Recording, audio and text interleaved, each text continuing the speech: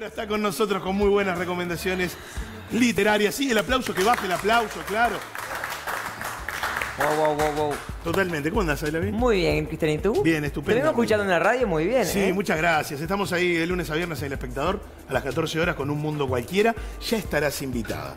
¿Por, por qué no decirlo ya casi? Pues yo no te lo dije para eso. No, no, yo sí. Ah, ta, ta, ta. No, Ah, dale, sí, me aprovecho y digo, en cualquier momento vamos a tener ese, ese mano a mano en, en radio que no lo hemos tenido todavía. ¿Te acuerdas que estuvimos cerca de trabajar Casi, en ¿eh? radio? Casi, casi, Estuvimos casi. cerca. Si entraba era gol. Y bueno, ¿qué va a hacer? No podemos, no podemos decir que hubiera pasado sí, pero tenemos la- el placer de trabajar acá y comentar aparte buenos lanzamientos. Bueno, eh, tal cual. Buenos lanzamientos de dos muy buenos autores, de esos que po- a veces hay autores que son muy intelectuales y que uno dice, bueno, no son para cualquiera, son para de repente un público más exquisito, esa gente que es muy lectora. Pero hoy traigo dos muy buenos autores, pero que son de esos libros que también se leen con facilidad, lo cual siempre me gusta recomendar en este espacio eso. Richard Ford es un norteamericano que tiene hoy 74 años y es considerado el hombre que escribió una trilogía eh, fundamental del, del siglo XX y casi que salió del XXI, que fue aquella del periodista deportivo Día de Independencia y Canadá. Ford es un capo. Es un hombre que no tuvo hijos y que emprendió una tarea bien linda y bien difícil. Él es hijo único de un matrimonio que tuvo hijos tarde. Y él se anima a meterse con decir, ¿quiénes eran mis padres antes de que yo naciera? Siempre es difícil imaginarse, uno no suele pensar en qué era tu padre a los 30, con qué soñaba, qué creía, qué quería hacer, cuánto se quería con tu madre. En el caso de ellos eran gente de muy del interior, así del- de la cosa profunda norteamericana. eh, Rural. un- rural total, el hombre, el padre, un vendedor eh, de almidón que andaba mucho afuera, de lunes a viernes no estaba, su madre lo acompañaba mucho, eran muy felices. Era una pareja que tenía mucha onda entre ellos y que disfrutaban mucho entre ellos. Y en esa cosa tardía, tardía, tardía, llega ese niño que en el fondo corta un poco esa relación en algún punto, porque la madre hasta ese momento había acompañado mucho a su marido Claro. Y habían sido muy dicharacheros y de salir y de, muy solitarios en un punto, pero no, con mucho, mucho amor entre ellos. Digamos que tenían como una unidad inquebrantable y llegó este, este invitado. Llegó este niño que les cambió mucho la vida porque la madre no pudo seguir acompañando a su padre, que eran tan felices juntos y todo eso. ¿Y qué plantea Ford? Un poco eh, con mucha inteligencia plantea eso de decir, a ver, miro la foto de mi padre y lo veo eh, dubitativo, lo veo impaciente. El hombre tenía un tema del corazón y finalmente muere cuando Ford tiene 16 años y de hecho se le muere a él en el cuarto y, y él Claro. intenta revivirlo y no puede. Entonces vos decís, ¿quién era mi padre? ¿Qué quería? ¿Qué ambiciones tenía? Era una época en la cual nadie pedía demasiado de la vida. Es cierto.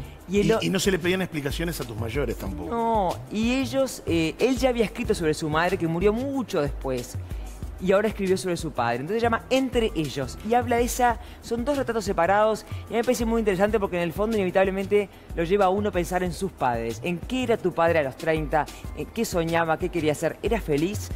¿Tenía fe? ¿Tenía muchas ambiciones? que- ¿Tenía muchos sueños? ¿O era un tipo relativamente eh, tranquilo en ese Sí, sí, aspecto? sí. Entonces está muy bien contado, pues, y bueno, puede interesar porque Ford, sí, capaz que si él fue el padre de Juan de los Palotes no importaba tanto, pero él tiene una maestría, está lleno de un me parece, pienso, no lo sé.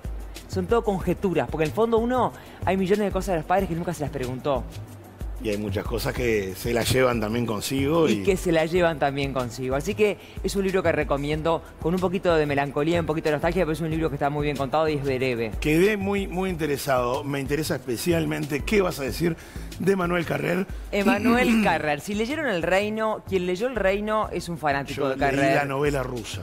Bueno, es un de- autor de esos importantes de este Muy momento, ganador de los principales premios, un francés, un intelectual, también periodista, también guionista, un hombre que está metido en el cine. Entonces, Sí. este trabajo que es conviene tener un sitio donde ir, recopilación de artículos periodísticos y ensayos. Entonces habla, por ejemplo, de por qué le gustaba el SAC, de va a Sri Lanka a hacer un reportaje, 32 notas, pero hay una que es por la cual traje este libro. A ver. ¿Qué le pasa a Carrer? Le dice en una revista francesa, em, queremos que hagas una entrevista a Catherine Deneuve. Bueno, dice él, pero no queremos que hagas una entrevista típica, queremos que hagas, ella te quiere conocer. ¿Cómo que, cómo ¿Qué? que Catherine A ver, a ver, Deneuve a ver. me quiere conocer? Dice Carrer. ¿Y cuál es la- lo divertido del, del artículo? Lo divertido, el original, y por eso es Carrer es Carrer. Porque él realmente hace una nota pésima.